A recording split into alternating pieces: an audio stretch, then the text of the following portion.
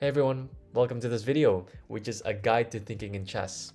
So I wanted to make this video because I haven't found an online resource that really covers um, like how to think in chess, um, the different methods you could use, um, and the different aspects uh, of the game itself.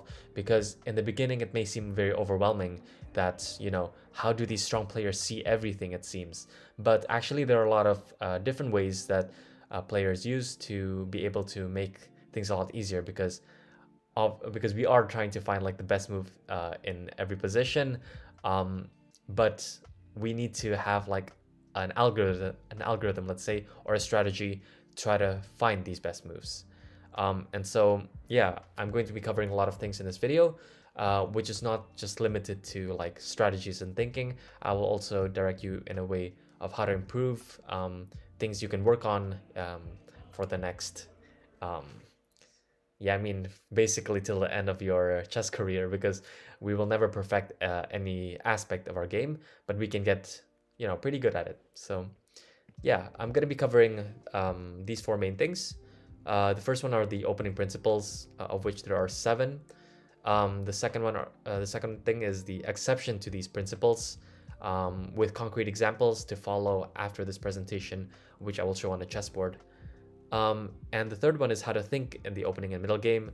So different strategies to try to see which variation is the best, um, and also different theories in um, chess thinking, uh, which I will cover. Um, it's uh, so there are just two like theories that I'm going to mention, which is first off Alexander Kotov's uh, tree of analysis, and um, a quick scan method, which was um, referenced or mentioned by uh, John Nunn in his book uh, Secrets of Practical Chess. Um, yeah, I'm sure there are a lot more like theories um, ar around, but these two I found to be like the most useful, um, and we'll just look at those. Um, yeah, in the third section. In the third section, um, and the last thing are a few important things to understand. Uh, so what you can improve uh, on, for example, evaluation, um, calculation, um, end games and everything like that I will just mention briefly um, as well as uh, other material other material you can read after this presentation. Um, so yeah first are the opening principles. Uh, so there are going to be two slides uh, of this section and the first principle is to control the center. So the central squares uh, are the uh, four squares in the middle of the board which are the squares e4 d4 e5 and d5 so most of the action happens in this, uh, yeah, in this uh, four central squares.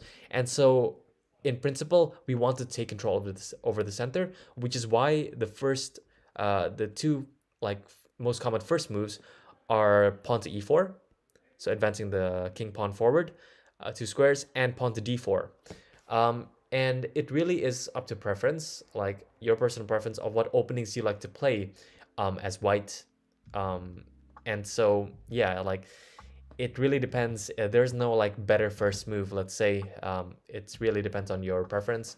There are also other moves for example pawn to c4 which is known as the english opening which indirectly controls the center because pawns capture diagonally and so it controls the center in that way. Also like for example uh, the first move knight f3 also makes sense because the knight develops and uh, takes control over the central squares uh, while keeping flexibility of the pawns because once you move a pawn forward, it cannot come back. And so um, this is especially important in the middle and end game uh, where pawns can advance forward, but we, if we advance them too far, then they can be weaknesses and, and actually a liability. Um, and so, yeah, we should, uh, in general, like take control of the center. Um, second, the second principle is to develop all of your pieces. So in general, we want to develop knights first, and then bishops, and only then do we castle our king to get our king to safety. And then finally, we can develop our queen and the rooks. Um, and so the reason that this is uh, this development scheme uh, follows as such is because we know generally where our knight wants to go. Normally, our knight is best um, aimed at the center. Uh, for example, if we look at uh, again at the board, the knight like you know 90% of the time wants to go to f3 or even like 99% of the time wants to go to f3 because it controls the center. Um, and so the knight moving to e2 doesn't make much sense. And so we always, since we always know that the knight wants to go to f3, we can play it um, very quickly uh, without much thought. Meanwhile, the bishop on f1, it may want to go to c4 or it may want to go to b5, let's say. So, you know, you can still keep a bit of flexibility there.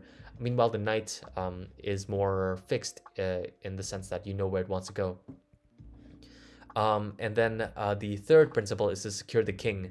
Uh, so this is what I mentioned with castling before. So basically our king and our rook can switch uh, positions uh, where our king moves two squares to, to the right side or to the left side, depending if we want to castle uh, on the king side of the board or the queen side. So what am I talking about?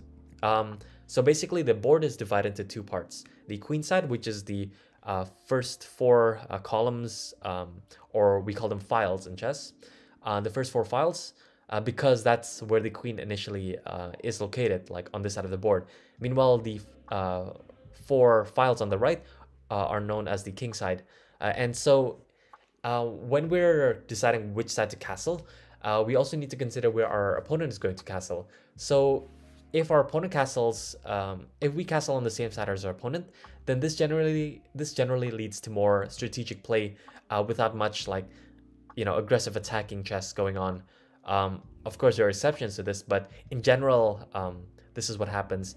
Meanwhile, uh, if we castle on opposite sides of the board, uh, then this leads to very aggressive play because because okay so basically uh, because we want to secure our king right uh, if we castle on one side of the board and let's say we castle on the king side of the board we really don't want to be moving too many pawns on this side of the board because these pawns act as a shield to our king because we're castled on, on that side right and so uh, our flexibility of pawns really um, uh, are available on the queen side because our king our king isn't on the king's uh, on the queen side and so we can move those pawns forward without thinking that oh, is my king going to be under fire, let's say.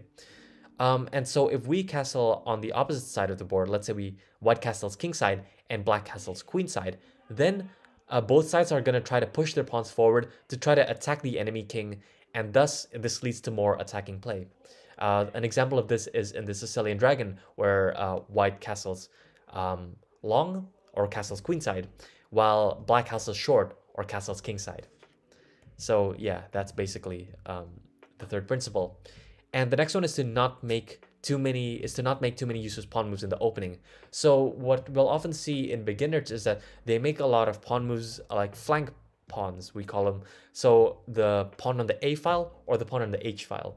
Now, normally uh, beginners like to play this because they're afraid of a bishop occupying a square. For example, if white plays the pawn to h3, um, oftentimes beginners think that, oh, I don't want my knight on f3 to get pinned uh, with, a, with the black bishop coming to g4. Um, and so they play h3 just more out of fear rather than a specific purpose. Um, and so there are like moves uh, in the opening um, where we actually make pawn moves for the sake of our strategic um, plans going forward. But it's important to understand that this is not made out of fear. Uh, it's the moment that you make these pawn moves out of fear that um, oftentimes these uh, this is a mistake.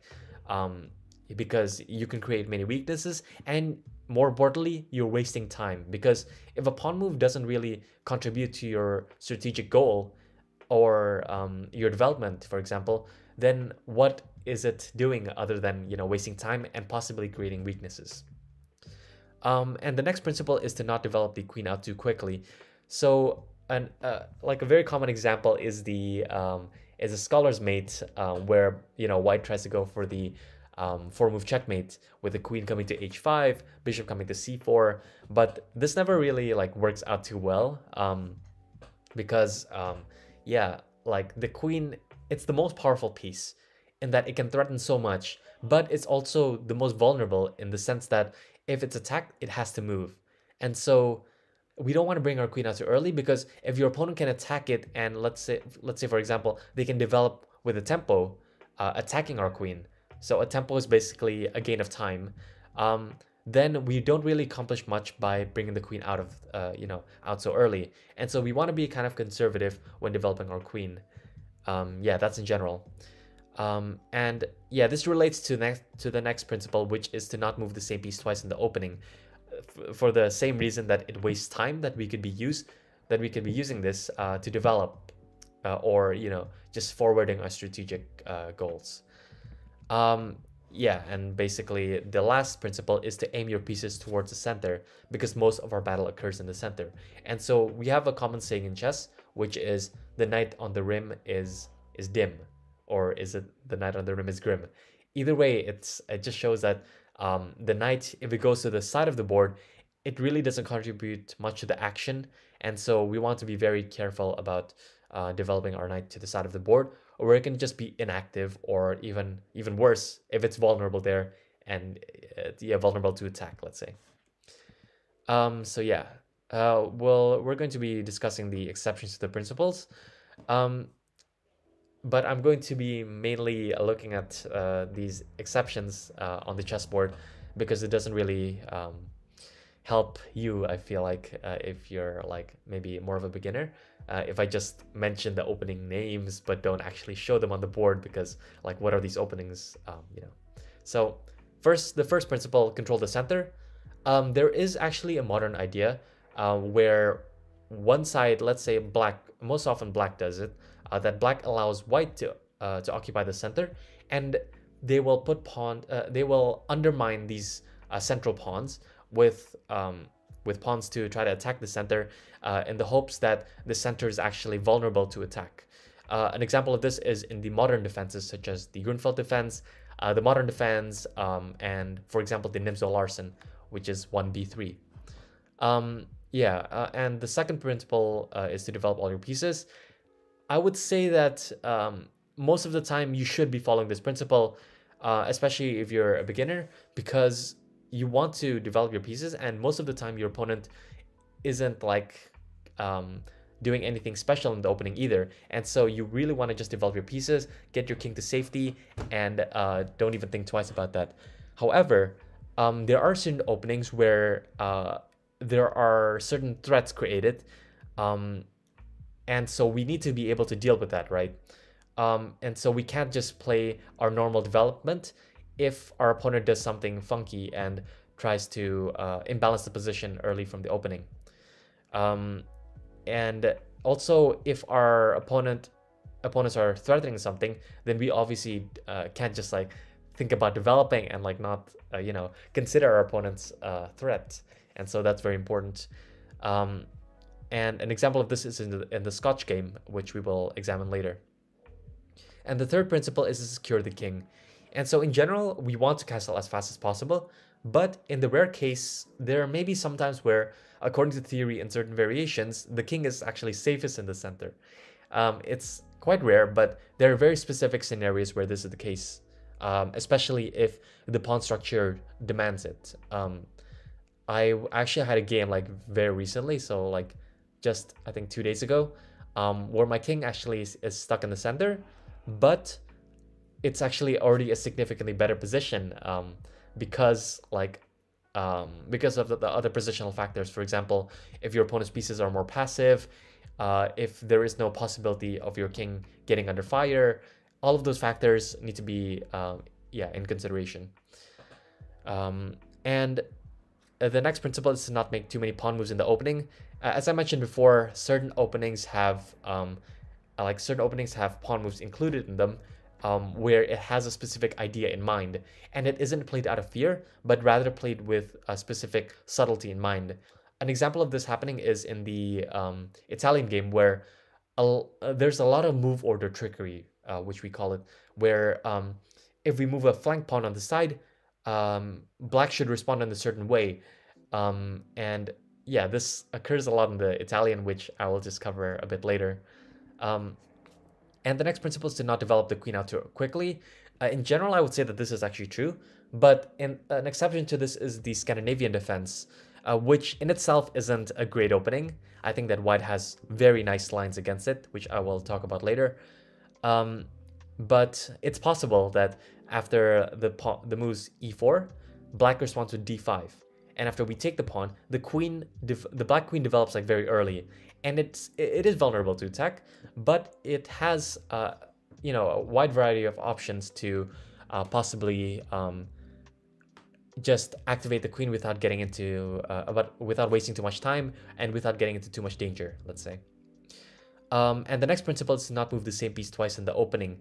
So if we're threatening something that cannot be defended, then this is not then this does not break the principle because even though we're moving the same piece twice, it's just winning material. And material is when we gain, like for example, a pawn or even more than that. And if we attack something that cannot be defended, then we're just going to be winning. Like there is no other consideration um, if it is, you know, that crystal clear. Um, and according to opening theory, this yeah this um, principle can be also be broken. Uh, for example, in the famous fried liver attack, um, it's a very possible variation in the Italian game uh, to occur, um, but both sides need to know what they're doing uh, because it's very specific and move by move.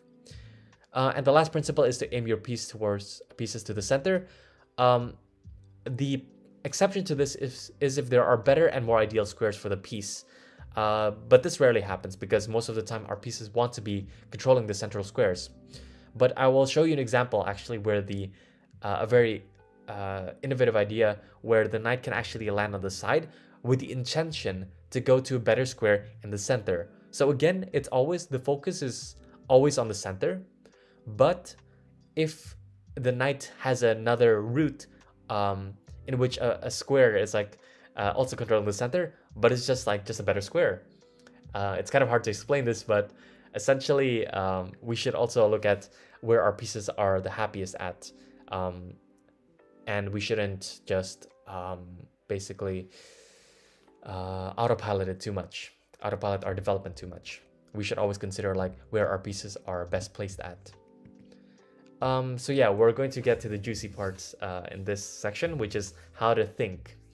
Um, so yeah, uh, the first principle, the first uh, like recommendation I can give you is to focus on the opening principles.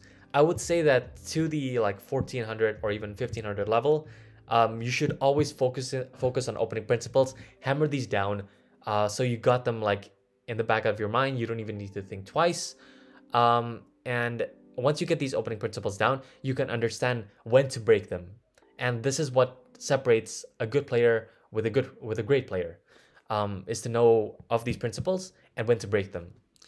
Uh, the second uh, way to like think about a position is to think about the pawn structures. So there are very common pawn structures that could occur.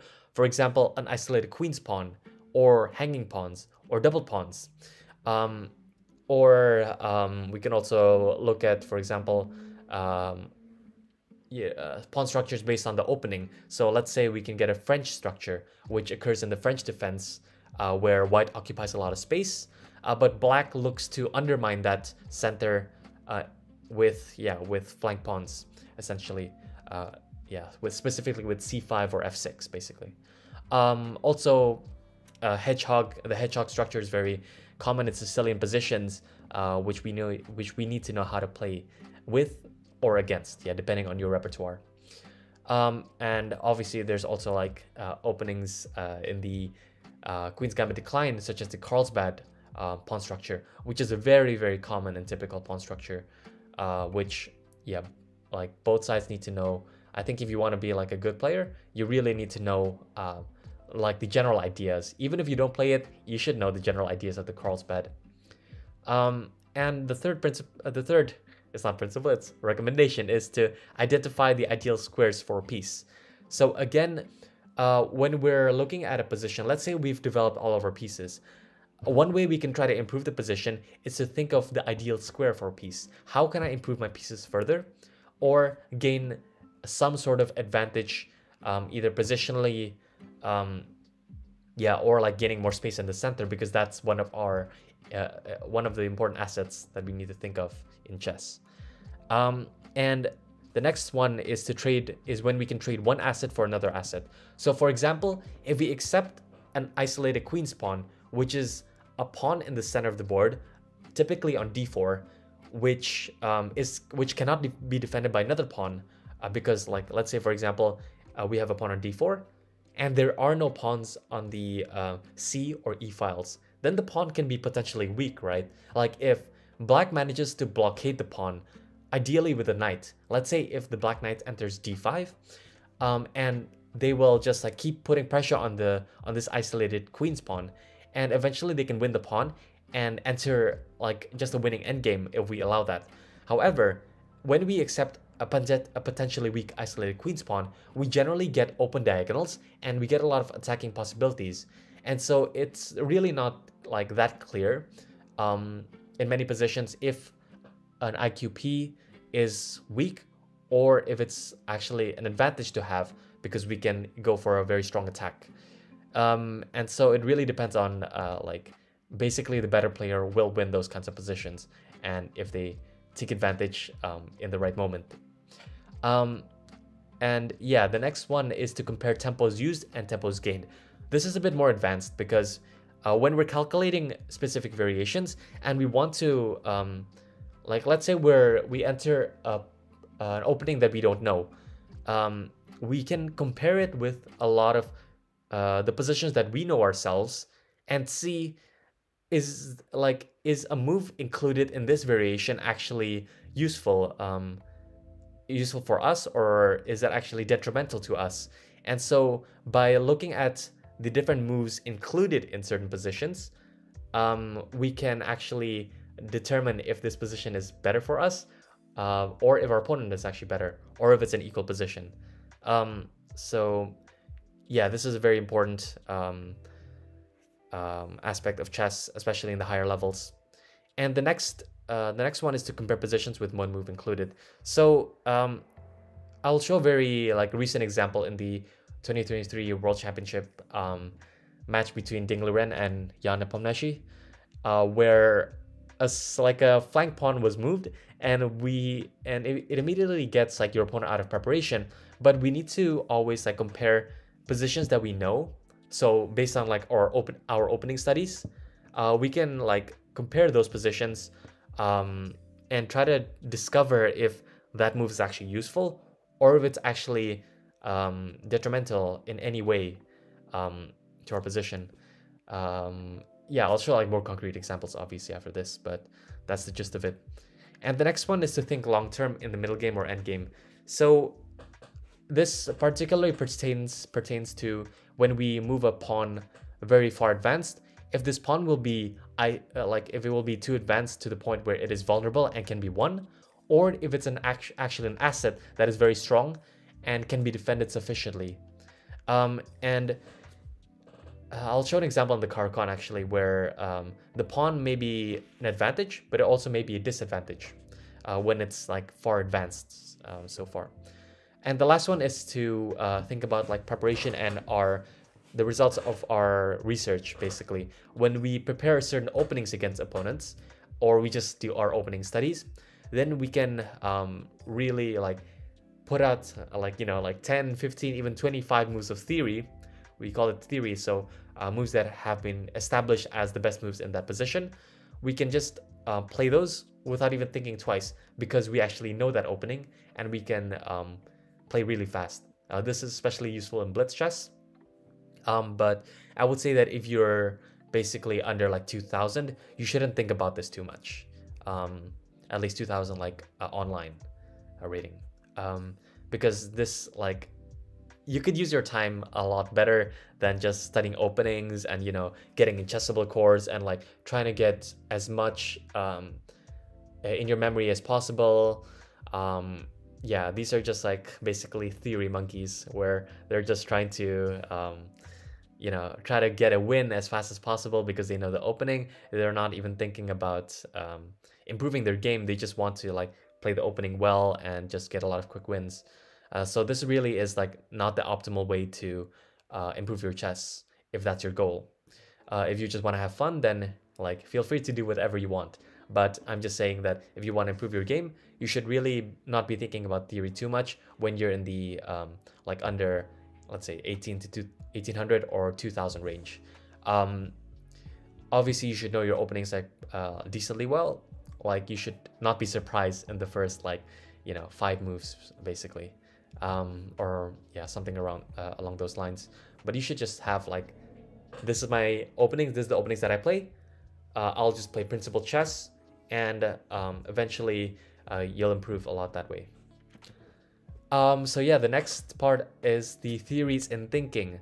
So the first one is Alexander Kotov's tree of analysis. So um, when Alexander Kotov published his book, uh, How to Think uh, Like a Grandmaster, uh, he introduced this theory of uh, the tree of analysis, which, as you can see on the right here, is based on um, creating uh, like candidate moves. So first off, when you look at the position, um, you should identify the possible moves that you are considering. Uh, you should list them out, and then you should branch them out uh, in concrete variations. So I think uh, Kotov recommends like looking at one variation, very like looking at the candidate moves, and then looking at the, for example, candidate move A, and then like going really in depth into that, and only then moving on to the next branch uh, of the tree. Uh, but this is very dogmatic because um, like we often don't think that way, and this can be like a very big waste of time if we uh, if we think this way. Um, the thing is that if you oftentimes like a person who creates theories uh, in a certain field uh, obviously it's not just not just limited to chess but if they create a theory they oftentimes shape their thinking uh, and have a bias towards thinking that way just because they've created the theory and they want to believe it so be very careful that this is not this like the only way to think and not definitely not the way that you should think every single time uh, because it's very dogmatic however in very forcing variations, I would say that this is very useful. Uh, you should identify the candidate moves first, so that that is definitely correct, and only then look at the variations um, like uh, more in depth. But you shouldn't like look at it look at it um, too much, um, like with too many concrete variations where you're wasting so much time on one branch and you're not even considering like um, the possible deviations in, in each of the other branch because you're so focused on one. Um, and uh, Alexander Kotov, in his book, um, mentions that there are two distinctions of this tree of analysis, which is the bare trunk and the coppice. Um, and so this is the um, basically the illustration of a bare trunk and a coppice, where um, a bare trunk is where a combination has only one variation, and so there is no real tree um, with a with a single offshoot.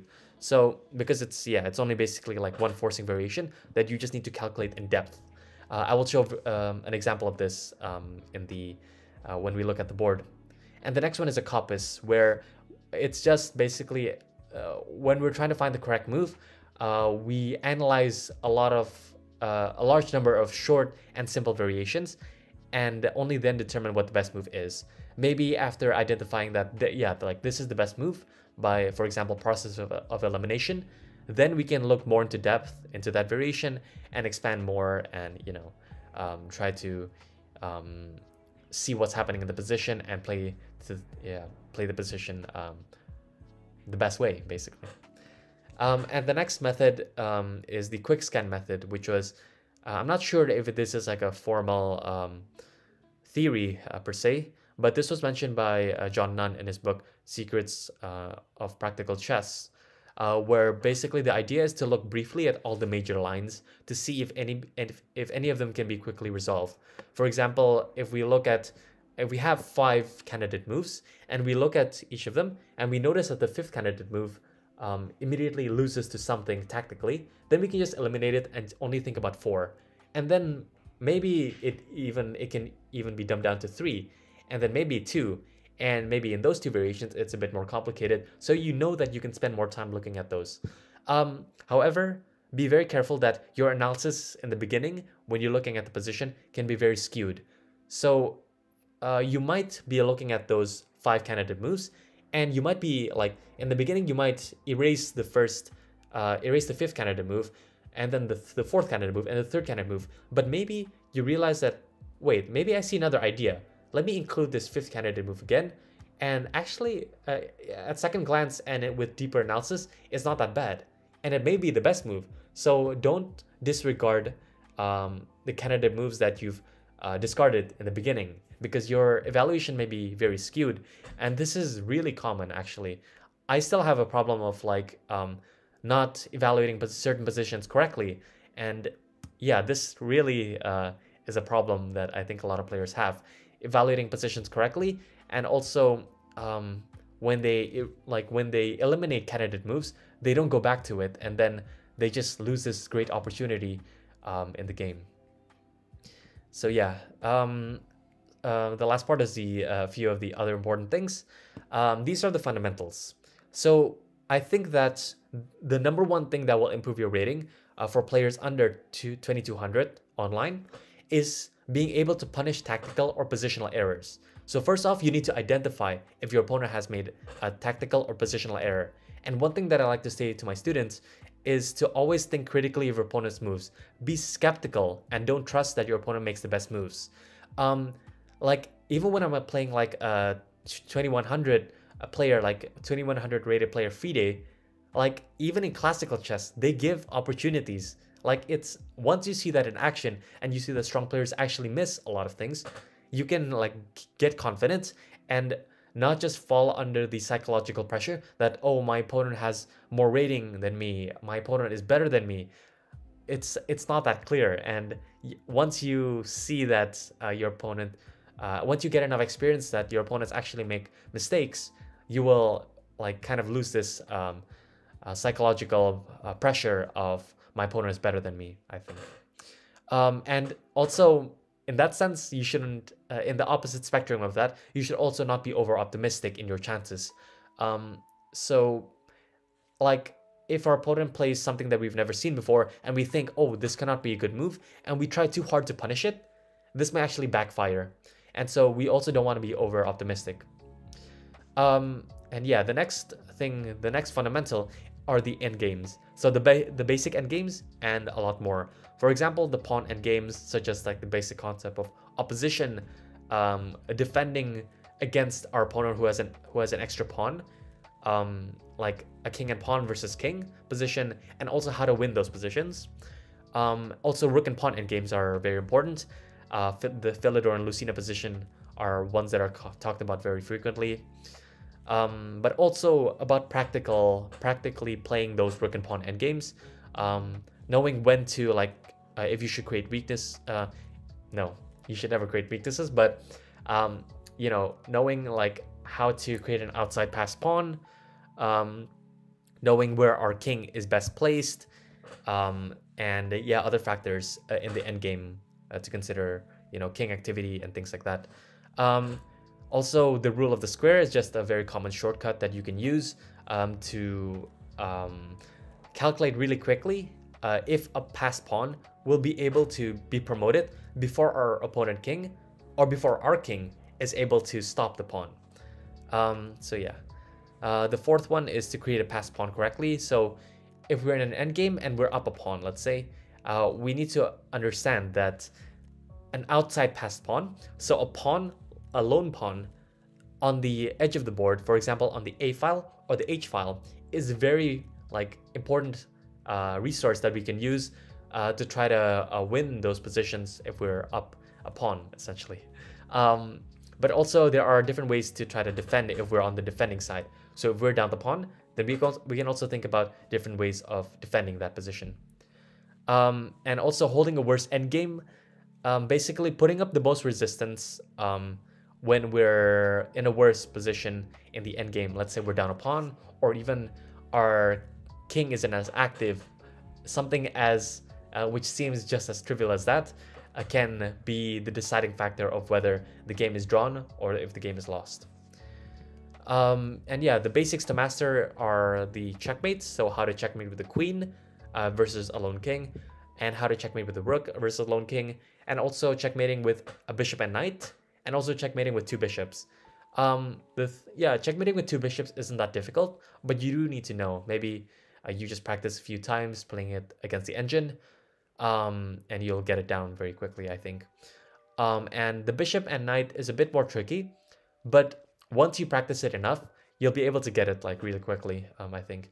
Uh, if you're a beginner, you don't need to know how to do it because how often will it really occur? Like realistically, um, yeah, you don't really need to think about that. But I have had it in one tournament game, so I cannot say that like don't learn it at all because it will maybe occur like uh, once or twice in your entire lifetime. So, um, and the next one is to evaluate positions accurately. So this is where it gets tricky because like even strong players can evaluate positions very wrong.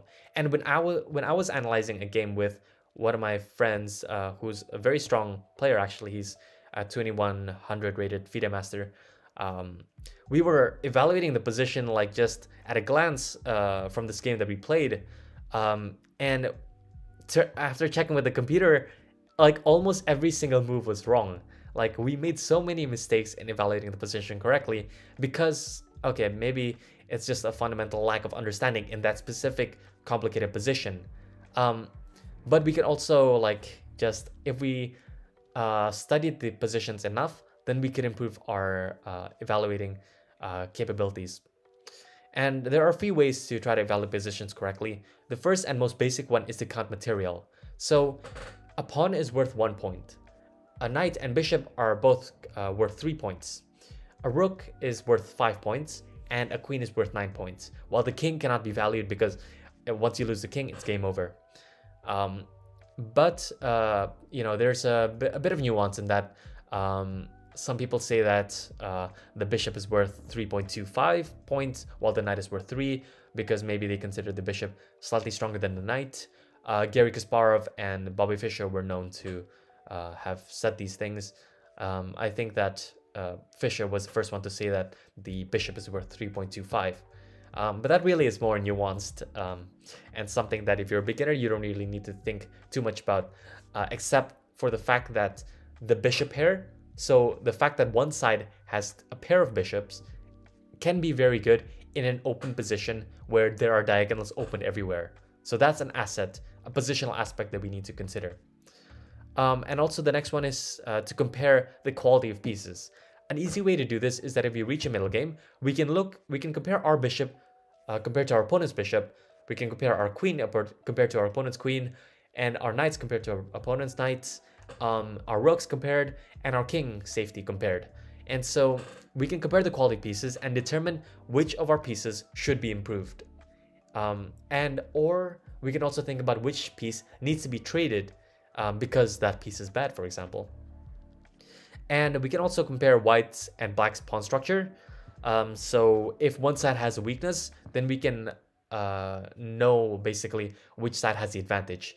Um, it's not that clear, a lot of the times because there are like maybe if you if you have a weakness in your in your pawn structure you may have something gained from that from that um, um, pawn structure let's say um, and the next one is to determine the best strategy to apply in a specific position um, yeah so this is really specific um, first off it can depend on the opening um, because like in in modern chess, you cannot just go for you know your own plan and not think about your opponent's plans.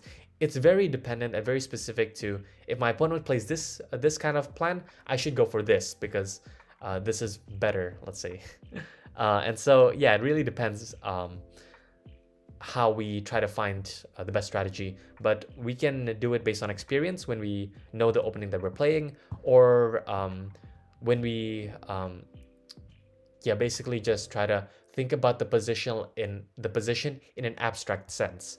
So, uh, for example, my goal is to occupy the center. How can I accomplish this? And so you can think, oh, let me put all of my pawns in the center. Let me aim my pieces towards the center. That's already a strategic goal that you can have in mind um, going forward.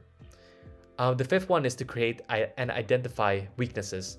So um, you need to be able to identify weaknesses, which are especially easy if it's like pawn structure weaknesses, let's say double pawns or like uh, hanging pawns, things like that. Um, and we can also, yeah, I mean, that's especially uh, like common. Um, but also in the, it gets more nuanced when we're talking about like king safety. Um, because when we want to generate generate an attack, we need to also think about is it is it like um is it reasonable to go for this attack? Does it make you know is it realistic to go for this attack? And so um, we also need to think about uh, the attacking possibilities uh, and which side has the initiative. So which side is really pushing forward, putting pressure on, the opponent, and things like that. Um, and yeah, we also need to know how to create those weaknesses so that we can take advantage of it in the future. Um, and the last one is, you know, just practice frequently. Um, if you play more games, um, especially like those in the faster time control, then you'll really understand that, oh, you'll eventually improve this ability to like um, evaluate positions correctly. Um, and I think that this is like the most useful way to improve your uh, evaluating abilities.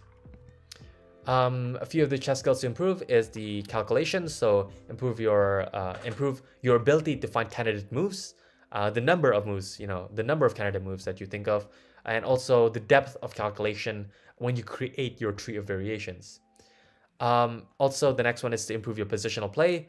Um, I recommend reading this book, Mastering Chess Strategy by Johan Hellsten, um, published in 2010, um, which introduces these four um, basic um, outlines on how to improve your how to improve your position strategically, which are which is to improve your pieces, using pawns to achieve your strategic goals. So pawn play, exchanging pieces favorably, and also the last is prophylaxis. So how you can um, prevent your opponent's plans, and as a result, your opponent doesn't have a lot of counterplay, we call it. So doesn't have a like a clear strategic goal in mind, and so they just don't know what to do, and we can like win those games very smoothly. Uh, someone who's known for this kind of um, beautifully, a beautiful like master, uh, masterful like prophylaxis play is Anatoly Karpov, uh, who just frequently um, is referred to like his playing style is referred to as a boa constrictor, where he just uh, prevents your opponent's plans, and just and only then does he continue with his plans to try to, um, yeah, just to try to uh, make your opponent suffer basically. Um, and the last one is opening play. So again, as I mentioned before, I recommend that if you're under like a 1500, you should just have like basic two to five move preparation. Don't um, dwell on it too much, don't spend too much time on it, but just understand the basic ideas of the opening rather than memorizing the lines and trying to play them as fast as possible. You should understand the ideas behind the opening. Which pieces are good? What am I going for? Um, yeah, in the future of this uh, of this middle game. Uh, things to do: definitely analyze your games after. This is definitely the thing that has made like made the most significant improvement to my game as fast as possible um, it might be nice to like you know spend time uh, analyzing uh, like openings and like because there are so many like good courses online nowadays. Uh, it might be fun because you feel like you know what you're doing but you're not but I, I, I definitely realize that analyzing your games is definitely the number one thing that will improve um, your level as fast as possible uh, and you will notice it in your rating changes. Uh, things to avoid being overly aggressive. A lot of people they will not improve like in their entire lifetime because they refuse to change their style because they think that it's either I'm checkmating now or I don't want to get a boring game. Um, despite the fact that there is so many like rich things in chess, other than going for an attack, like you can play beautiful strategic games and uh, which you can be proud of, and you don't need to be overly aggressive. However, a lot of people are stuck in this mindset of being overly aggressive, and as a result, they don't improve and they're stuck in the 1200 uh, level for all their lives. So definitely don't be too aggressive. And also don't be too stubborn.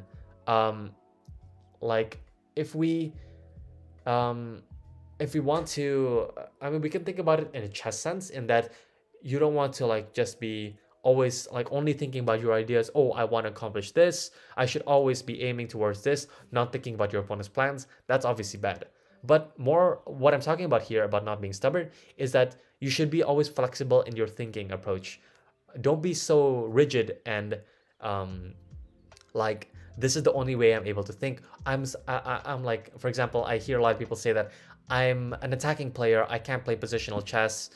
You have to be able to play positional chess. That's like that's not negotiable. You have to if you want to be able to get to a high level.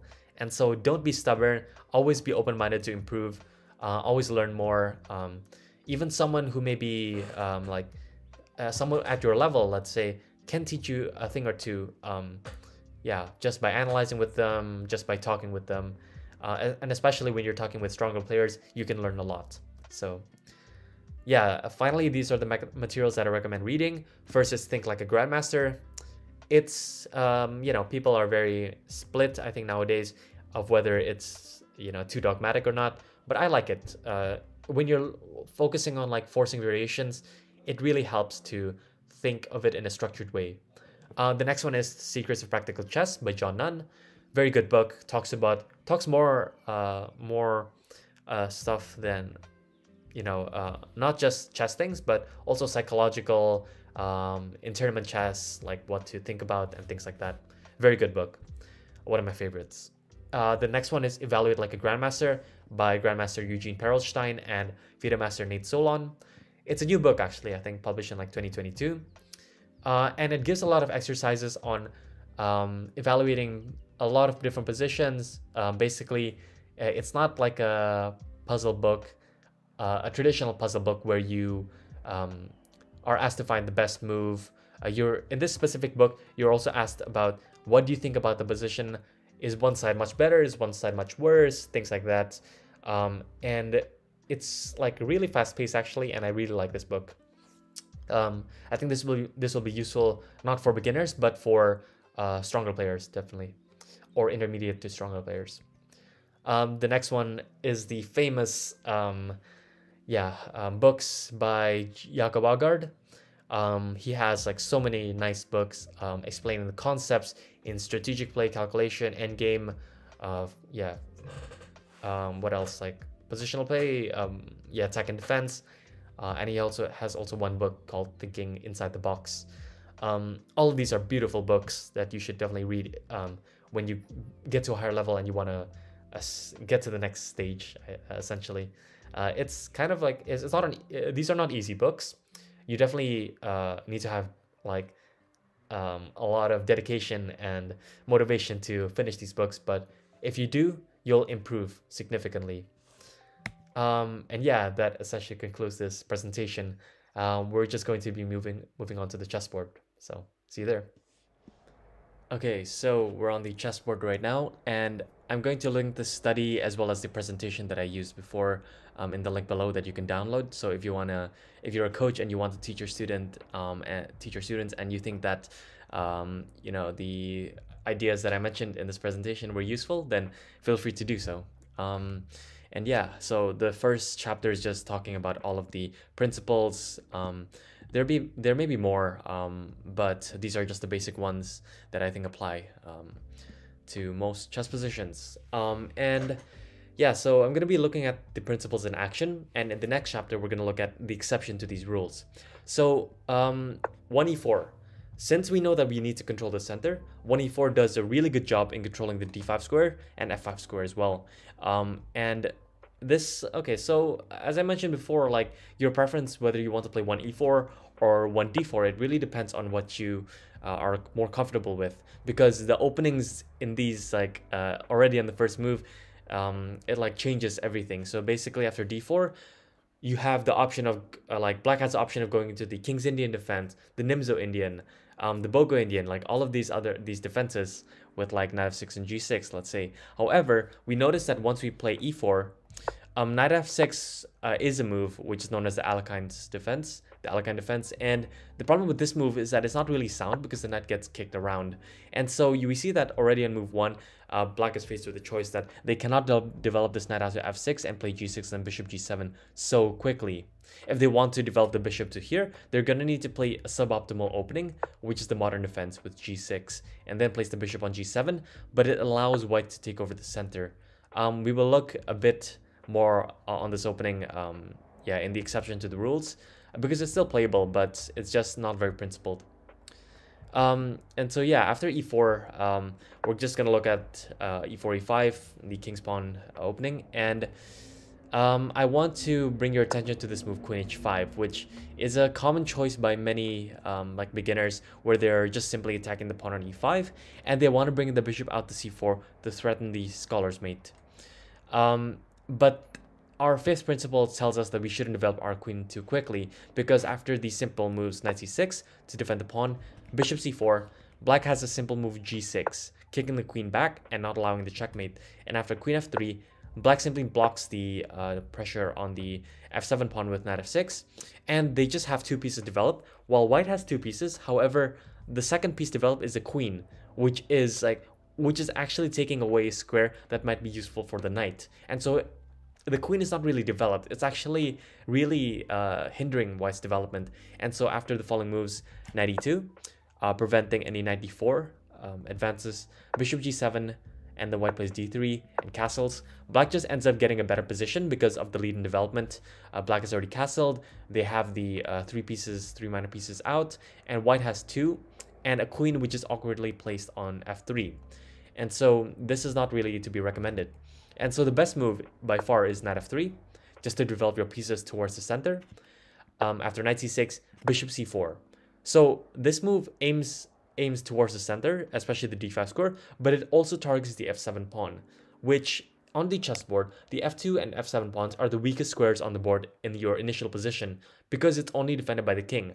However, um, concretely, uh, this pawn cannot be taken advantage of um, like in any serious like opening um, because yeah because you know black has nothing done nothing wrong and white has done nothing wrong and so if they play principled chess, then they shouldn't get into any trouble.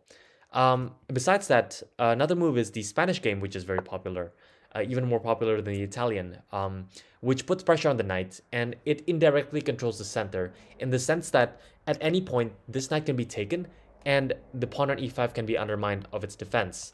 However, after a6, it's not really possible to take it now, because after d takes e6, if we take the pawn, then black has this annoying move queen d4, with a fork on these two, um, these two pieces. After the knight retreats, uh, queen takes e4, white has to trade the queens off, otherwise they have to move the king. Um, and after this exchange, clearly black has nothing uh, to be concerned about. They do have double pawns, but in compensation, they have the bishop pair. And the bishop pair in an open position such as this, where you see a lot of diagonals possibly open, you know, everywhere uh, across the board, um, black is doing more than fine here. And I would prefer to play, to play black in this position. Um, so, yeah, after a6, let's say uh, white should retreat with the bishop to a4, still keeping an eye on this knight. But let's say after knight f6, white can castle. And if they take on e4, uh, white can play the move d4. And this enters the so-called open Spanish because uh, we're threatening, let's say if they take on e d4, then we have rook e1, which is a really good, um, really good response after this. Knight takes d4, there's a lot of pressure here, and with the threat of f3, this is very, very sketchy uh, for, for black. And so I think white is already better. And so after knight f6, castles, black typically plays bishop e7 to cover the e file. And so now actually knight 6 e4 may be a threat. And so rook e1 is played. And after defending the e pawn, there's no more like bishop takes c6, dc6. We can see that queen d4, uh, okay, wait, hold on. After we play bishop takes c6 in this position, if black plays a random move like castles, then now we can take the pawn. And after dc6, knight takes e5, there's no more queen d4 because the pawn is simply defended. And so white can just retreat with the knight and attack the queen simultaneously. And white is simply up a pawn. And so after rook e1, the best move is to play b5 so that now there is no more option of taking the knight on c6, and so the e5 pawn is safe. And after bishop e3, now black can simply castle. And we reach a mainline tabia. So a tabia is where uh, the options start to branch out, and black and white has many options here. They can play the move c3 and then allow this very famous pawn sacrifice known as the Marshall Gambit, or the, the attack actually, uh, just sacrificing a pawn. And this obviously goes into a lot of theory that I don't want to go into or they can choose another move besides c3, such as either a4 or h3. Uh, and these are fine options, clearly. Um, or even like d3 is playable, I think. Um, yeah, just very playable. Uh, and so you see that there are many, uh, the ideas in the mainline openings are really logical, but there are a lot of nuances uh, and subtleties that you need to know if you play them. Uh, and so that's just a bit of the uh, Spanish game. However, I want to aim your attention to the Italian game, which has a lot more principles in play. After bishop c4, um, if black plays a move like h6, which violates our principle of not making too many useless pawn moves, we see that this the idea of h6 is to prevent any knight g5 advances to pressure the pawn on f7. However, what can make use of this lead in development to immediately strike in the center? And after e takes d4, uh, we can just castle. And this is the way to play. We're just playing with initiative, and we don't even care if we're sacrificing a pawn. Let's say after knight f6, we can even play e5. Um, and after e5, if the knight has to retreat back to g8, then this is clearly just bad after rook e1. Um, all of black's pieces are in the back rank, essentially. Um, so they're going to have to find this move um, after e5 to play this thematic move d5. uh, which is very common response when the bishop is on c4. Um, and it's not possible if the bishop is on b5, right? But here, after we play bishop b5, pinning the knight, uh, knight d7, we can play rook e1, defending the pawn, bishop c5, and then now c3 is a really nice move. Sacrificing the pawn, and if black ignores it, then we're just going to get a massive center with a big advantage.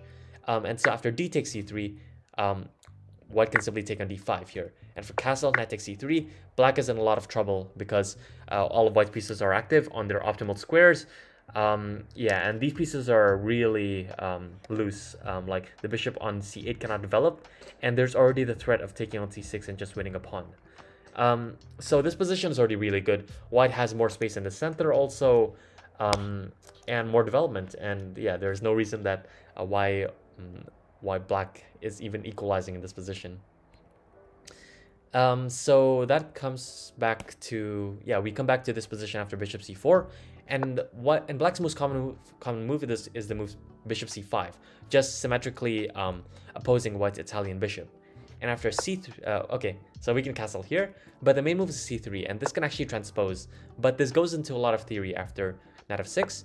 Besides the move d3, which um, defensive center and is more of a slow approach to the position, uh, white can also go for d4.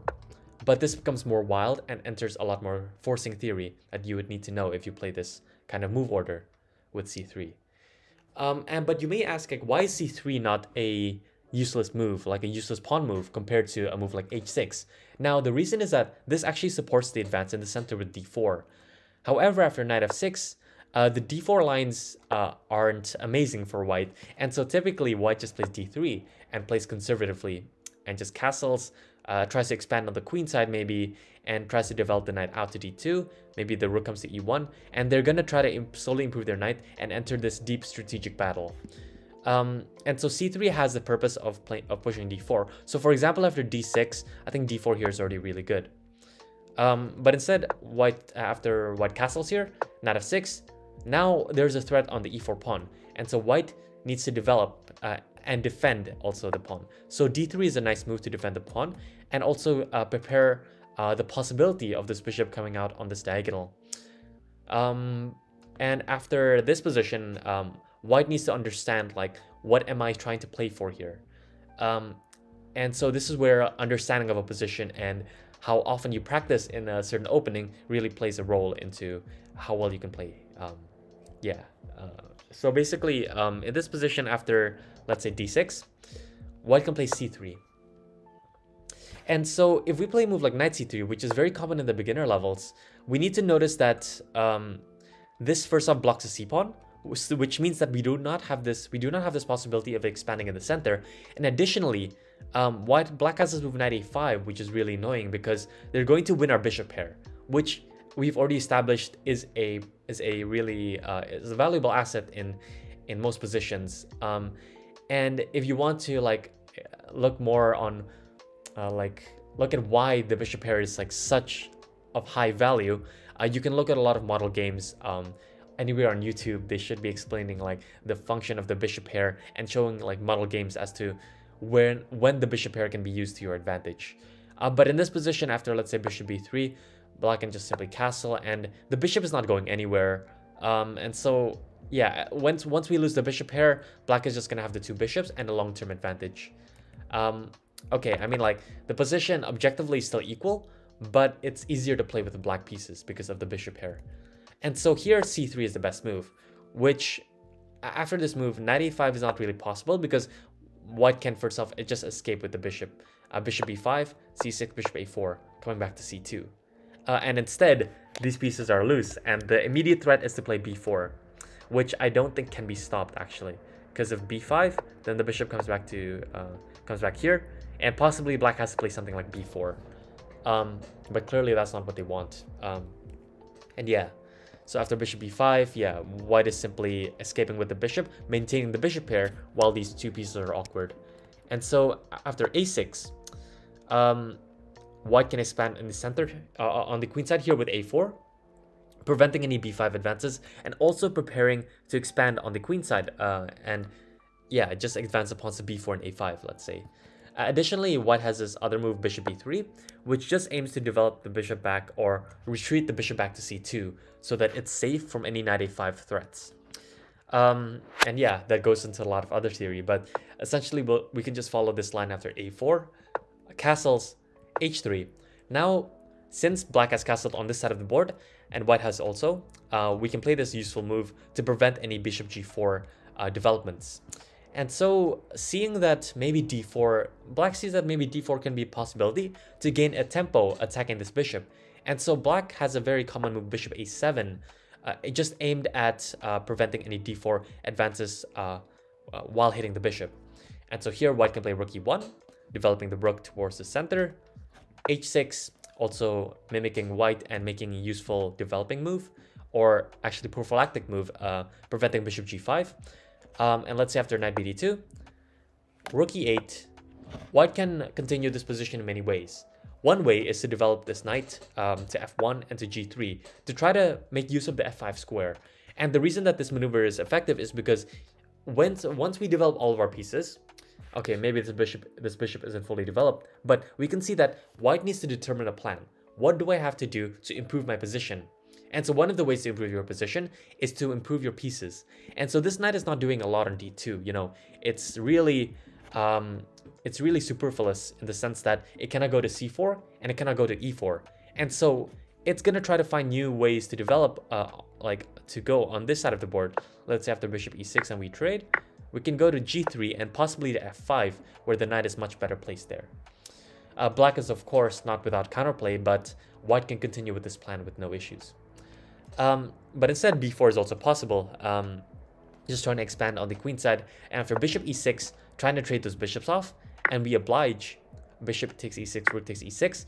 White can play either the moves queen c2, very logical, very natural, developing the queen, and um, saying that I don't know where I want to develop this bishop yet. I might want to trade off the bishops with like knight f1 and bishop e3, because this bishop is really nice on this diagonal.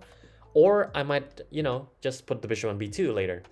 However, bishop b2 is also a move, um, which doesn't look like it makes a lot of sense, because it's blocked by its own pawn, but it has really good potential if we play the move c4 in the future, uh, or even like possible d4 advances uh, where the bishop is supporting the d-pawn.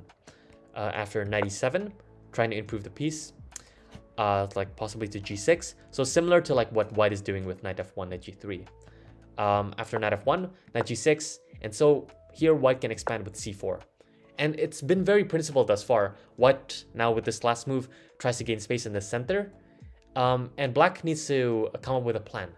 Um, you know, if, if, they play some, if they play some like slow move like queen d7 or something that doesn't really have a purpose, white can just continue normally with knight g3, possibly to f5, and even if given enough time, can try to generate an attack on the king side. Um, and so in this position, a common maneuver is actually to play this move knight h7 to try to go to g5 and try to exchange off this really good knight on f3. Um, and also possibly if they can uh, play knight f4 and then play the rook on g6, then there will be a very crushing attack. And so here, white normally plays knight g3. After knight g5, uh, the position, yeah, just branches out from here. Like, um, but black and white both have like uh, trumps to the position. Um, and yeah, so instead of knight h7, also like white, black can also play knight h5 here, trying to occupy the f4 square. After knight e3, knight h to f4, black is also fine. And so in in every single opening, black is fine, clearly. Like, otherwise, white would win like 90% of the games, right? Um, but it's just really a strategic battle most of the time um, where we're trying to accomplish our goals, but we also want to prevent our opponent uh, from becoming too active and getting like uh, any any hope of, of an advantage, essentially.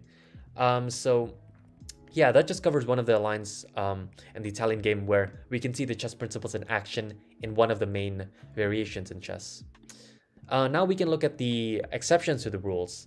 Um, actually, hold on. I actually want to mention uh, another line. Um, let's say we can look at we can look at another very popular opening uh, nowadays, which is the Caro-Kann after e4 and c6.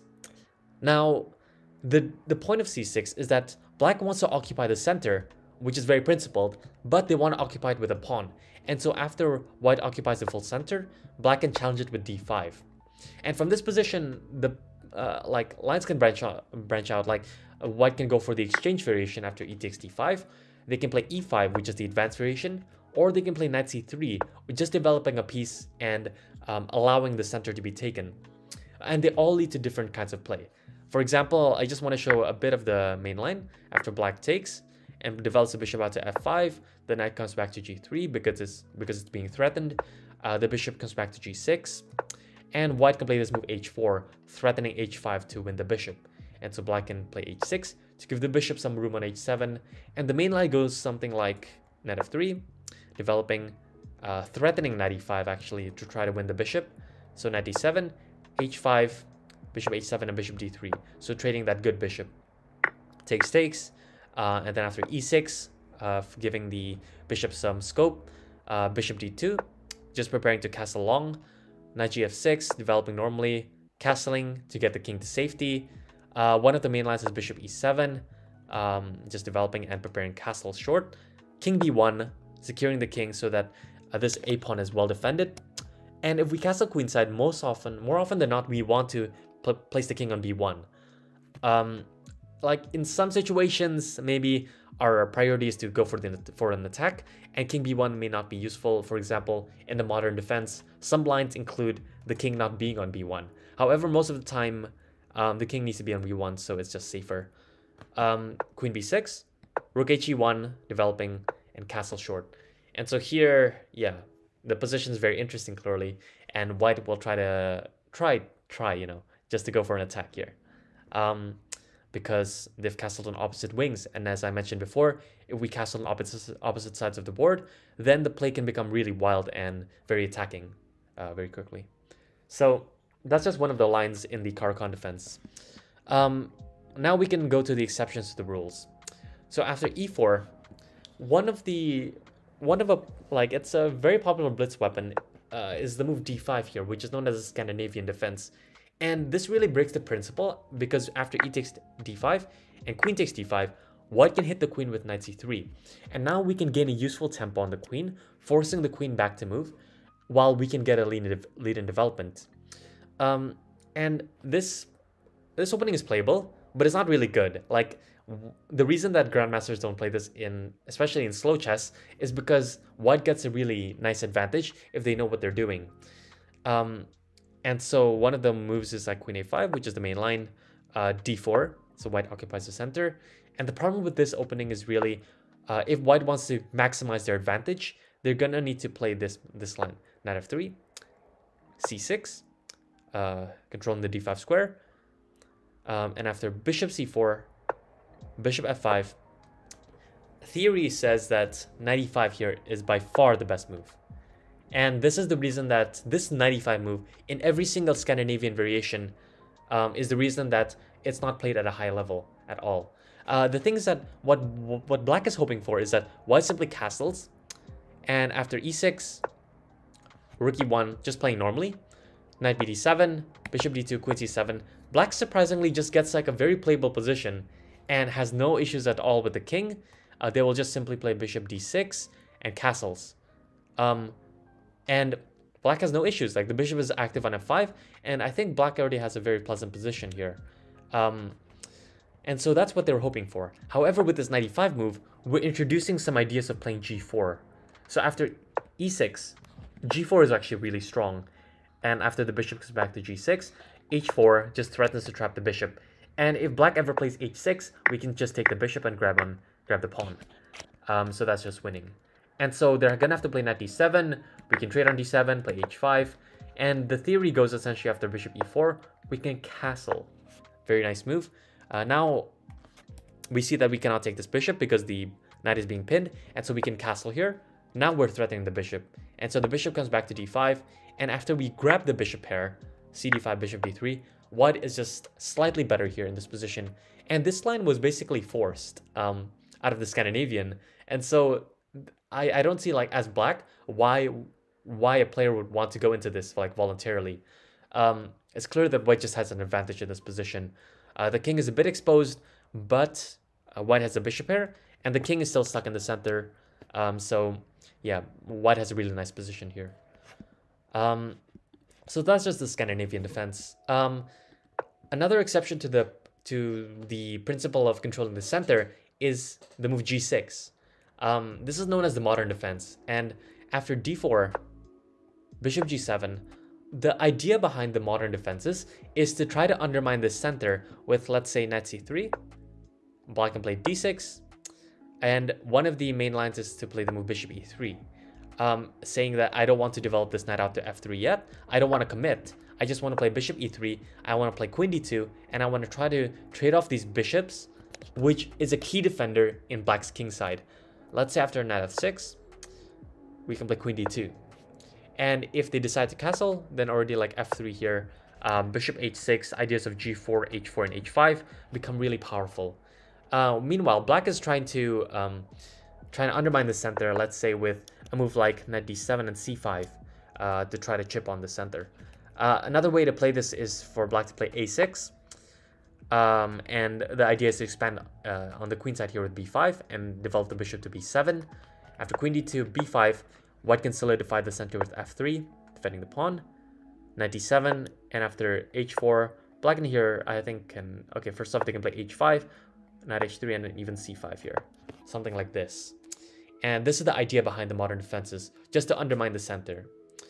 Um, I think white still has an advantage in most of these, in every single line essentially, uh, if they played correctly. But it's still a complicated game, and it's not clear. Like white is not just gonna win uh, on the spot. So, though those are a couple of exceptions to the rules. Um, yeah, and we can actually go next to the tree of analysis. So, oops, just if you saw whatever is on the right side of the screen, just ignore that.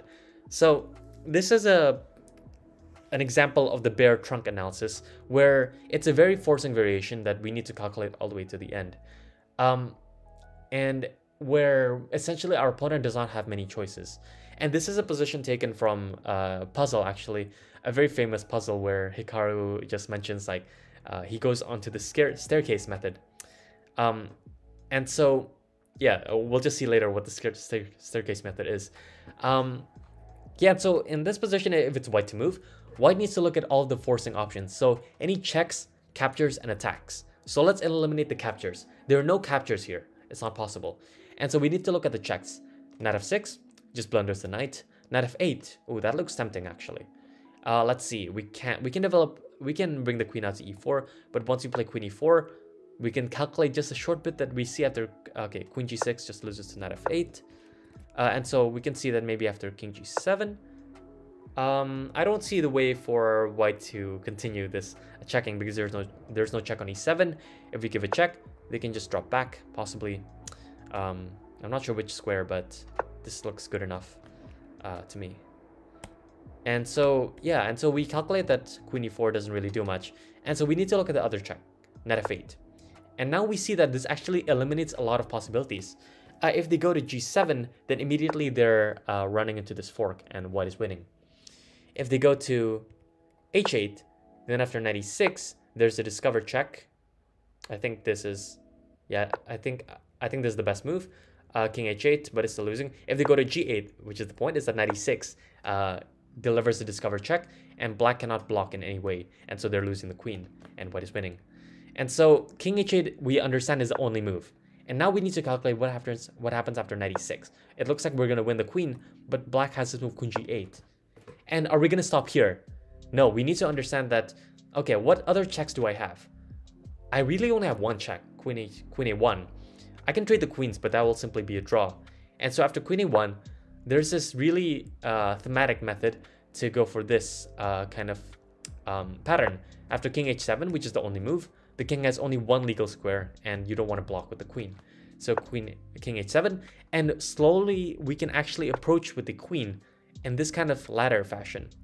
Um, and the point is that if black ever blocks with queen g6, then we have knight f8 winning the queen. And so they cannot really ever block. And so we're just going to slowly step up the board. And this is like just a one line of calculation, right? And once we step up the board, and king h7, we can ask ourselves, have we made any real progress? And yes, in this position, knight f8 just would, uh, yeah, it's it checks the king and the black king has no other square to go to. So black is forced to give up the queen and this is simply winning. And so this bare trunk uh, method of analysis really shows that a forcing variation can be calculated all the way to the end. Even though this is like a like a 15 move line, it's not a 15 move line in a like a in a strategic and complex position. It's a really it's really just a forcing line that you just need to see all the way to the end. And it's not really that difficult. It's just that you need to know that this pattern exists.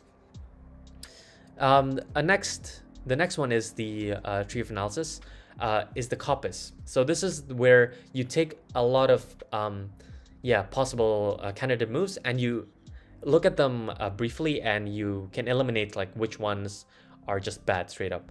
So this game I think was played by Reddy. Um, he starts with e4, e5, knight f3, knight c6. The opening doesn't really matter, but we see that uh, we get this kind of position, knight c3, b5, bishop b3, bishop c5, knight takes e5. So this is a common trick. Uh, it's called the center fork trick. The point is after knight takes e5, d4. Um, yeah, black is either forced to give up the piece back, and white has a pawn in the center, uh, which is which is actually equal according to theory. Um, but in this position, bishop d6 was played, which is an okay move. After d takes e5, bishop takes e5, uh, white plays f4. And after bishop takes c3, because you don't want to run into any e5 pushes, uh, bishop takes c3, bc3, we can see that the pawn structure is damaged, but white has the bishop here and the nice center. The question is that if the center will be weak um, because it's maybe under pressure, or if it will be a strength in that it can push what, black's pieces backwards. So after castles, e5 was played. And so before before allowing this e5 push, black needs to know what am I going to do against the e5 advance. And if they simply come back to e8, this is just a bad position, like um, because the knight is backwards here, and what can simply castle, maybe break with c4 here, um, or even I don't know, move like queen f3 here makes a lot of sense. Um, just attacking the rook, castles, bishop e3 with a nice position. And so against this e5 move, black already knew that they had to play this move c5. And so we can look at the, uh, I'm gonna put a picture of the, uh, of what was analyzed essentially by Reddy um, after this move. He understood that he needed to play this move, otherwise he was worse. Um, and so the lines really um, are interesting. White can play like so many moves. There are five candidate moves here. Bishop a3 attacking the pawn, after which what was analyzed was actually queen a5, after e takes f6, uh, queen takes a3. Um, actually missed this move queen d6, which is really powerful, pinning the pawn to the queen and defending this uh, f6 pawn. And so after rook e8, king f2, uh, there is no c4 advance because the queen is hanging, right? And so white is simply better in this kind of position after rook h1 because there are just back rank problems with black position. Um, but that was missed. Other than that, uh, I think bishop b7 is the best move. After bishop takes c5, knight e4, black, yeah, sacrificing the exchange, but in return gets a lot of compensation because they can bring the queen in very actively after g3, sacrifice the knight, and the complications just work out here for black, and the position is just equal because they can end up like giving a um, giving a perpetual check with queen g3 and king d2. Uh, if the white king ever steps up to d3, then bishop e4 is just winning, uh, with bishop f3 winning the queen. So that's not playable, and so this position's equal. They also need to needed to understand what happens after bishop d5. Takes takes, queen b6, uh, because if you take here, then bishop b7 just traps the queen. Um, and yeah, bishop e3, and the line goes on, right? Uh, they also need to look at what happens after the critical e takes f6, after which c4 is a really nice move. Um, I think c4 um, is possible. Yeah, I, I, I think I think this is the best move. But rook e8 was also calculated after king f1 c4. Yeah, you just include this useful move, rook e8, to misplace the king a bit, and so this position is okay for black. And so we see that if black does not find this move c5, then then they're just going to be simply worse. But once we play c5 and black calculated all of the possibilities with white castling, um, white themselves playing c4, white capturing the knight, white playing this move bishop a3, um, yeah, then they can uh, work out the position from there. So um, yeah, that just shows kind of how you can use um, this tree of analysis to uh, figure out what's happening in a complex position. Another way um, we can look at it is to compare the pawn structures. Um, so I'm going to be looking at two pawn structures here. First one is the Carlsbad pawn structure, which if you've, if you've never heard of it before, happens in the queen's pawn opening, in the queen's gambit declined. Um, and after d4, d5, c4, e6, knight c3, knight f6. The main line is to play this move c takes d5, the exchange variation, e takes d5, and bishop g5. And the point is, the point of the pawn structure that I want to show is that after this move c6. Now we get what is known as a Carlsbad pawn structure. The reason is that this uh, position was reached, uh, this kind of pawn structure was reached many times in, an, in a tournament played in Carlsbad. Um, and I think back in like the some like 1900 something like that. And white can play e3. After I want to put a, uh, I want to put a few more developing moves on the board just to show you uh, what I mean by how you can use the pawn structure to your advantage. Bishop e7, bishop d3, castles, queen c2. So white is keeping this knight flexible because it can go to f3, but it can also go to e2. And after knight bd7, knight g2. So in this position, in this pawn structure, white can go one of two plans. They can put the knight on e2 and try to expand with f3, e4, which if black is playing really like correctly, then white should not be able to achieve this break comfortably. And so for example, rook e8, castles, knight f8, very logical, just improving the knight to g6. f3, we see the purpose. We want to push e4. After knight g6, um, e4 is not really good because they can take and then play knight g4. Um, this is one of the problems. Um, and there are like some weaknesses in white's position. Um, and so that's not really desirable. So rook 81, improving the rook. And in this game played against Kasparov, his opponent played h6, which practically speaking is not a good move. Um, it's still equal, but it allows these captures, and black can take on white can take on g6. And notice that the pawn on e3 is hanging because of this rook on e8, so we don't want to take on g6. However, white can expand with e4. And once we achieve this advance, it just becomes a really pleasant position to play. And he won, and Kasparov won this really nice game back in 2000. So um, instead of h6, bishop e6 actually just prevents e4 because if you play e4, then this thematic idea of playing knight g4, trading off the bishops and saying that this center can be actually quite uh, overextended. After bishop e7, queen e7, queen d2, preventing knight e3, c5 here. And so the purpose is that is that they want to break down our center.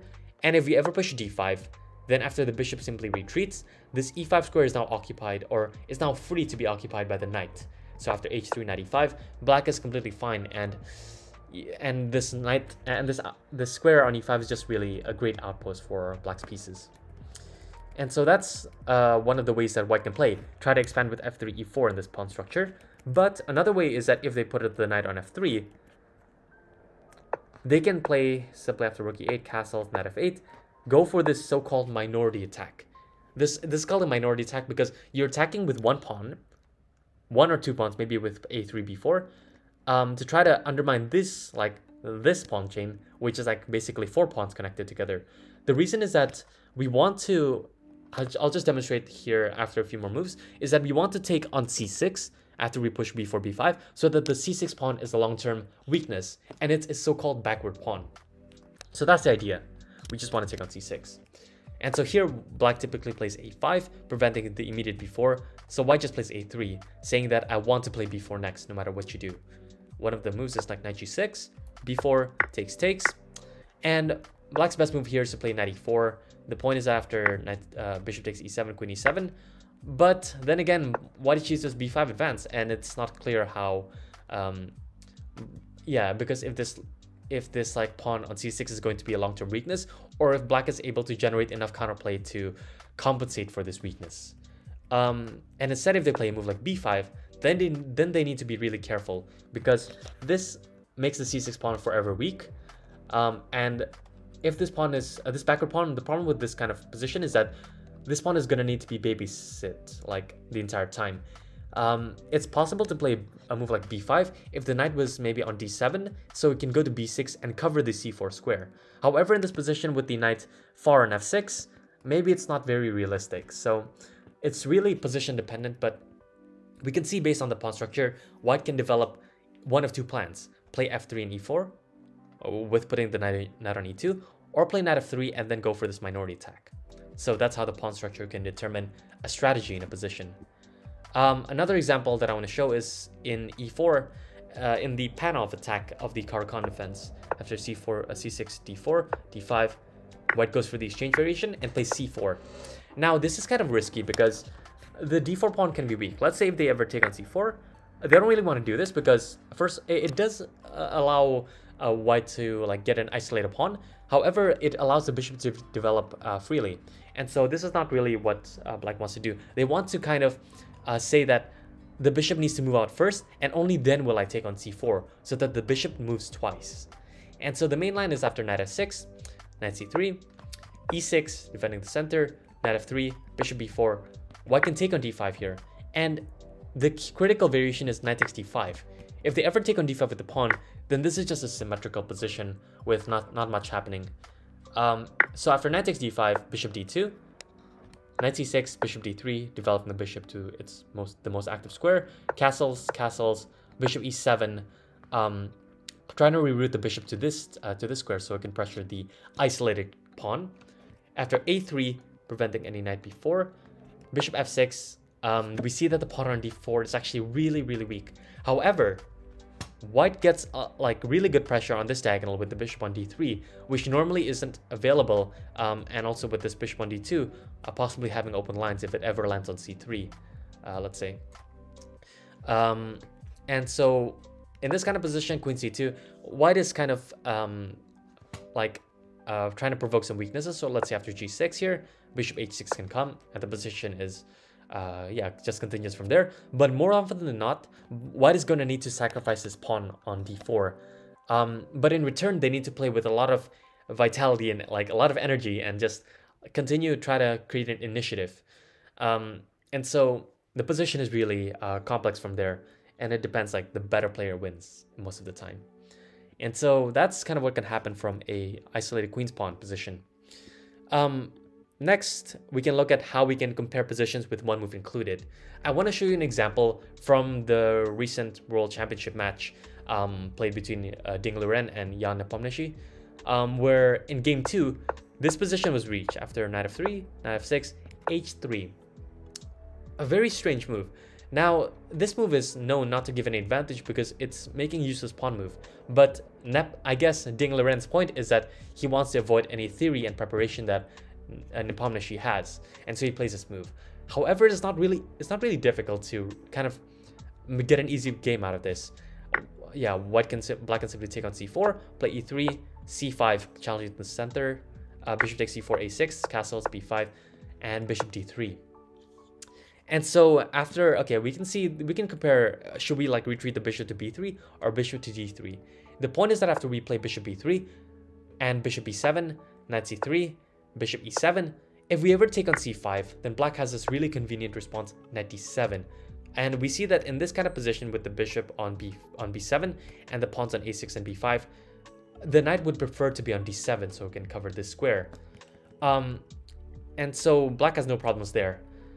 And if we compare this position with the with one of the main lines of the uh, of the Queen's Gambit accepted, e3, knight f6, bishop takes c4, e6, knight f3, now c5, we reach a very similar position to the game, except h3 has been included, which is not a useful move as we saw before.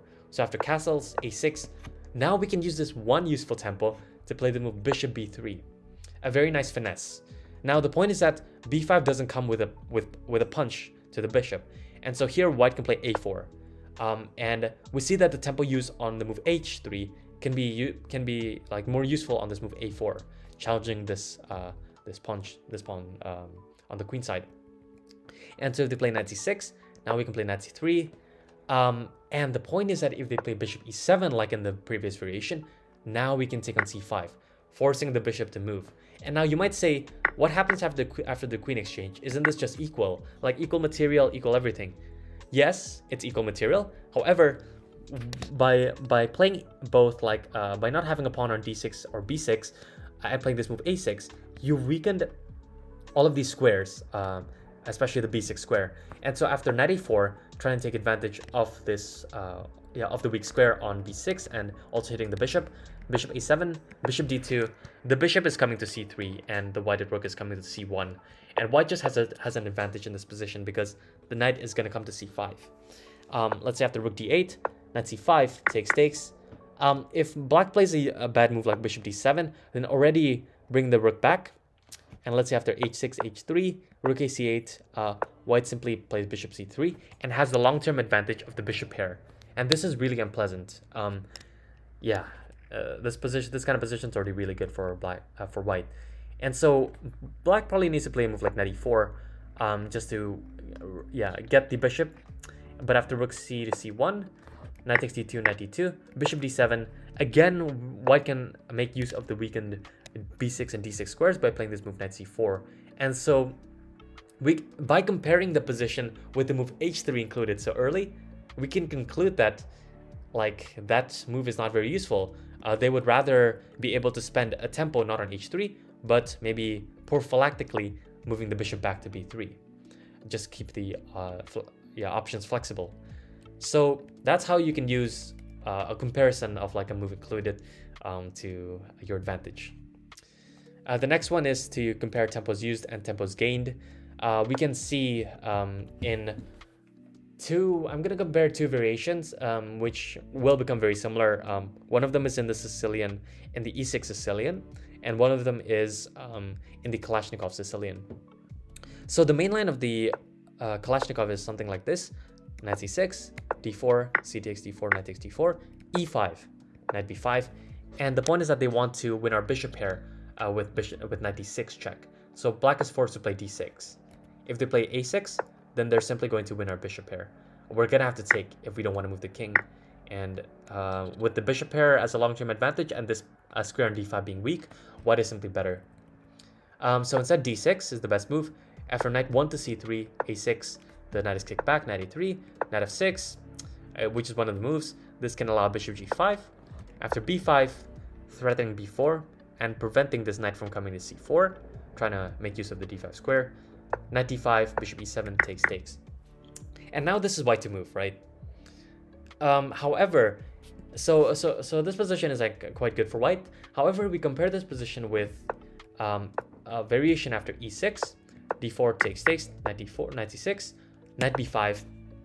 This actually forces the move d6, right? And after bishop f4, e5, bishop e3, knight f6, bishop g5. Like, oh boy, this bishop has moved three times in the course of like, in the first eight moves. And this cannot be good, but this is actually quite playable. Um, after a6, I just want to show you a variation, what happens after knight 5 to a3. If black doesn't break in the center with d5, uh, black is uh, like, oh, then white is fine. Uh, let's say after bishop e7, knight c3, b5, Bishop takes f6, bishop takes f6, and knight d5. Now look at this position. We compare to the, to the position we just saw before, and it's exactly the same. But the difference is that now it's white to move, compared to the position before where it's black to move. And so this one tempo, we can see that we would, like black is already worse in this position, uh, white is already worse in this position because compared to that, to the previous position in the main line of the, uh, like Kalashnikov, um, yeah, it's white to move. So we can conclude that by going into this line, white is simply worse in this variation after e6 and we go into all of these complications. Um, I hope that's that's not too confusing because I got a bit lost there also myself, but uh, we can see that essentially this one tempo that we gained um, or, or that we actually lost by playing this variation of bishop f4 is really not a good way to play. And so in this position, like white can play many moves, just knight b5 is just is just not the best move in this position. So yeah, that's how you can um, use that technique. Next is thinking long term. So I'm gonna go again to this variation in the Caro-Kann after bishop f5, yeah, h4, h5, knight f3, knight d7, and in this position, white can either play the move h5 and, uh, and then trade off trade off the bishops and enter this position. Knight g6 castles, queen c7. Um, Okay, like bishop e7 and castle short is also possible, but white can black can also castle long with by playing queen c7, uh, 94 castles. This kind of position. Now we can see that the the purpose of this pawn on h5 is to prevent any possible g6 advances because then we could just take. It also like clamps down on the queen uh, on this on the king side of the board. Um, but long term, if black manages to exchange every single piece on the board except maybe the rooks, Um, or maybe like they exchange the queens um, and have all of the minor pieces and uh, the rooks on the board, then they can make this pawn on h5 a real weakness by like possibly putting a rook on d5 and then trying to pressure this pawn laterally. So this pawn can be a strength, but it can also be a weakness. So white needs to be really careful. And so another variation which is possible is to play the immediate bishop d3. And so you're just saying that we're just going to get this exact same position, but without the pawn on h5. And so it becomes a really interesting uh, struggle. And it's debatable which, uh, if it's better for white to include, uh, yeah, this pawn on h5 or not. But I think most theory, um, modern theory says that it is actually beneficial for uh, white to include this move h5 despite the fact that it can be used as a long-term weakness. Now next, and the last one that I want to give an example of is using preparation to your advantage. Now I have a clear board over here, but I just want to show you that if you get to a certain level in chess, um, and you understand and you understand the basic principles, you know when to break them, and you can take advantage of your opponent's um, mistakes in the opening um, if they made like an unprincipled move, then you can proceed with preparation and really studying your openings in depth. And so one of the variations that I want to talk about is the variation in the Botvinnik semi-Slav. So after c c6, knight f3, knight f6, knight c3, e6. Now this is the semi-Slav defense. The thing is that if you want to play c6, you need to be ready with the exchange variation. Uh, knight c3, knight f6, bishop f4, stuff like this. You need to be ready to go into this like wholeheartedly. Um, additionally, after knight f3, knight f6, they can also play the move e3, which is another move order. And so black can either play bishop f5, bishop g4, or play the move e6. And so this is a variation that you also need to know.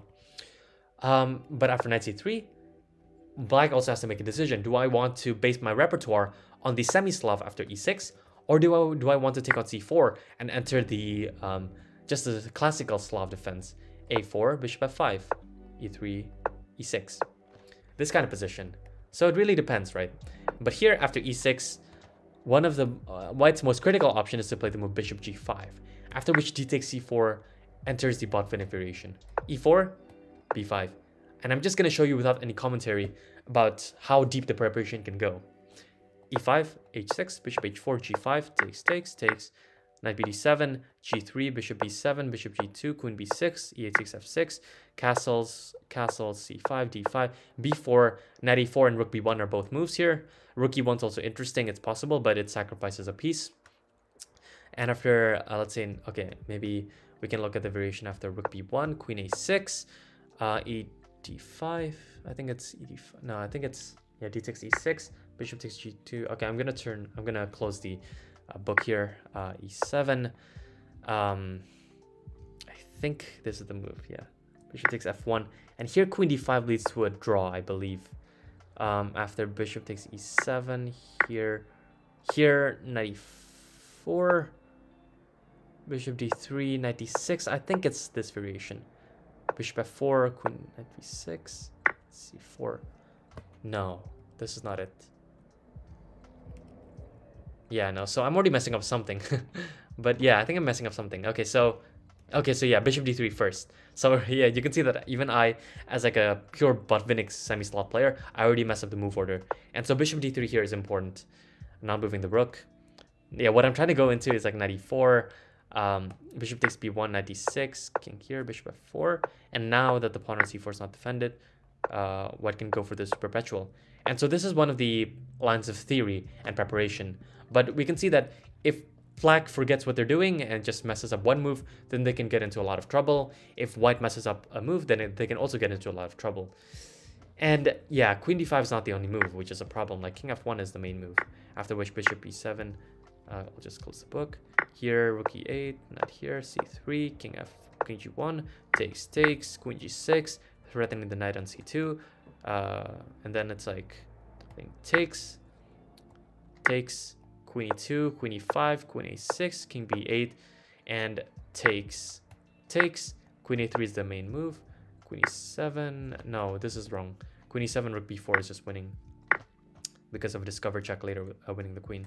So yeah, after this move, I think knight b6, something like this. Yeah, I believe this is equal. No, even that's wrong. Okay, so yeah, in this position, queen c5. Yeah, okay, so you see that I already messed up essentially. Um, but yeah, this position is equal apparently. So that's how deep theory can go. Um, and yeah, that just kind of shows that once you get to a higher level of chess, um, preparation becomes a lot more important. And I've actually had the Botvinnik variation three times in my classical games. And so, um, yeah, against like not not like not even like master players, like even people like in the 1800 range, 1700, 1600, they even play this stuff. And so, yeah, in the modern day of chess, you cannot, uh, if you want to be really competitive, you cannot go without any like with just like no openings at all. So you do need to know some stuff. And yeah, I hope this video is not too long and uh, this is like provided some value to your chess um, or maybe to the students that you're teaching. Um, so yeah, thanks so much for watching. Um, I guess if you have any questions or comments, please leave them down below. Um, and yeah, I'll see you guys next time. Bye.